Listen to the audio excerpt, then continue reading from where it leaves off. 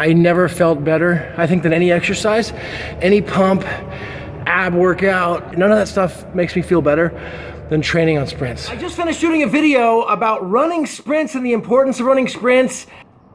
Some people have asked about my, my numbers.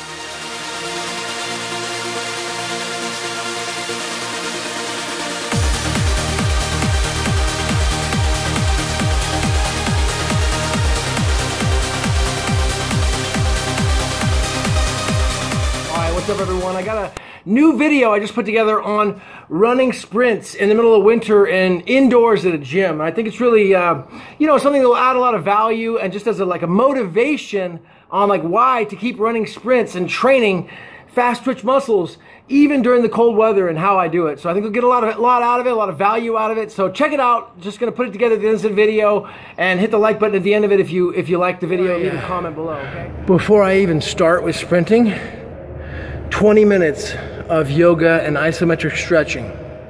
Getting like the muscles and joints really loosened up. So you know if you're like a 16 year old guy may not even matter.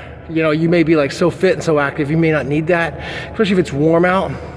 But if it's cold weather out and you're like in your you know mid to late 20s or 30s or older you know you got to warm up those muscles really good. So like i always do like the yoga and isometric stretching to warm up the joints to get them ready for sprinting, you know, because they need to be ready. And nothing's gonna do it better than like just really holding the yoga poses and warming up those joints to prevent injury. It just feels so good. And like the back gets loosened up and all the quads and the glutes and all the hip flexors are all loosened up now. And they're nice and warm so I can explode on sprints.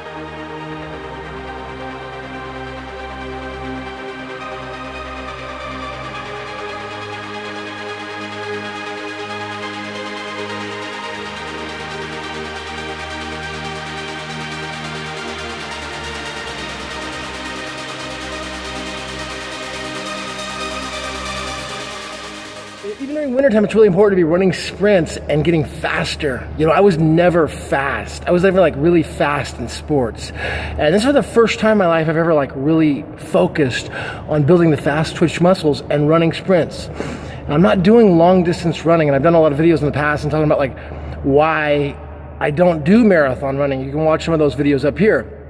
But in regarding sprints, it's like just even if it's not if, it, if, it's too cold outside, like I'll find a gym like this and then train the sprints indoors, and then hit them out, just knock them out and do my best to get a little bit faster. Even if it's just a shorter distance, like a 20 yard dash like this, it makes a huge difference. Okay, so stay, keep doing sprints even like even during the winter time.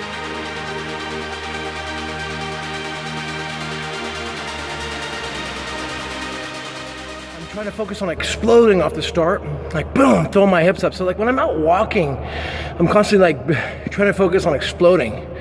And I'm not a freaking runner, dude. I'm definitely not a sprinter, but I'm becoming that. It's possible to do that. So like just being out walking, boom, throwing those hips forward, like and constantly like building that fast twitch muscles. That's one of the things I'm working on constantly.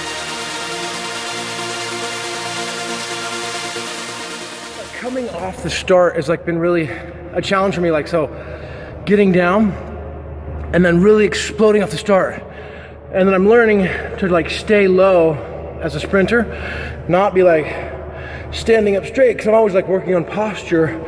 So I'm thinking I'm gonna stand up straight. But when I'm trying to sprint, I'm trying to stay low and go forward as fast as I can and build these fast twitch muscles, man, so I can be fast, incredibly fast and just explode out of the gate.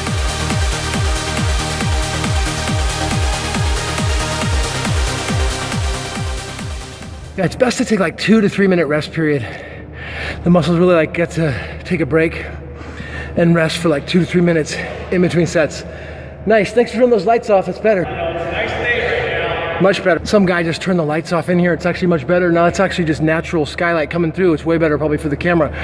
But like taking that two to three minute rest period in between sets, then focusing on breathing. Breathing like deep into the into your balls like Elliott Hulse would say you know, just watch Elliott Hulse's videos to learn about that. Breathing really deep, getting the oxygen going, and staying loose, you know, just keeping like warm in between sets. Sprints are like, I never felt better, I think, than any exercise. Any pump, ab workout, bicep workout, chest workout, chin ups, weighted chin ups, military press. It doesn't matter. None of that stuff makes me feel better than training on sprints. Training on sprints is amazing, man. It's amazing.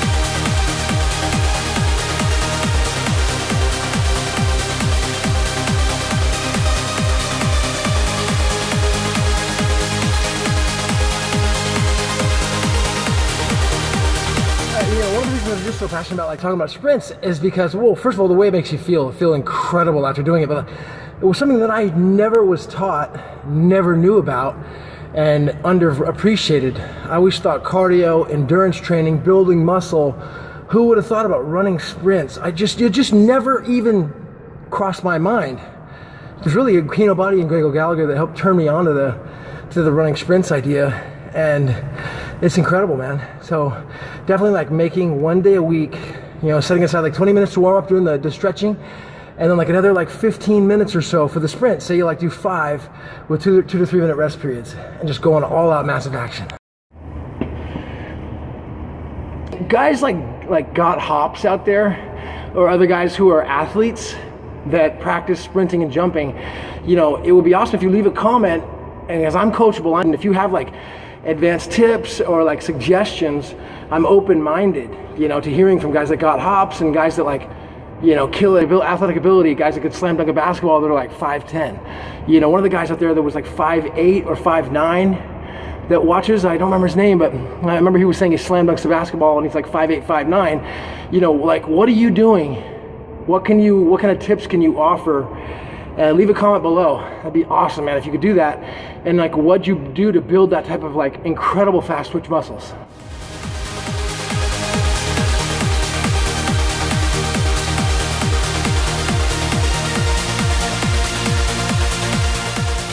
Some people have asked about my, my numbers. Right now I'm at 165 for five, no, 175 for six reps right now on incline press, barbell press.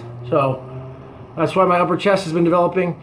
And then on, on standing overhead military barbell press, I was able, I hadn't done it in about six months. And yesterday I did it for the first time and I only did 105 for six reps. So my shoulders still need some, some work in the way of the standing overhead barbell press.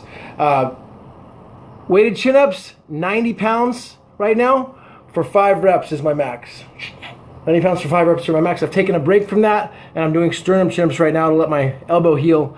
And the way of barbell curls, uh, my full rep max on barbell curls right now, I have been doing actually dumbbell curls, but when I, I maxed it out, it was up to like 105 for six reps, barbell curls. Um, 13 and a half inch arms right now, small. Hopefully they'll grow.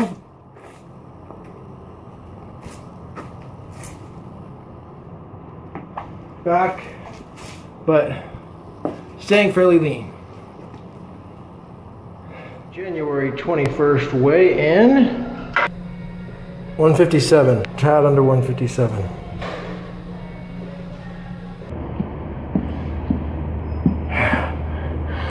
Like, leave a comment, subscribe down here. I'll put another video in here as well that'll help you, uh, that I've talked about running sprints in the past you could check out. So, that's it, done. Don't forget to train on sprints.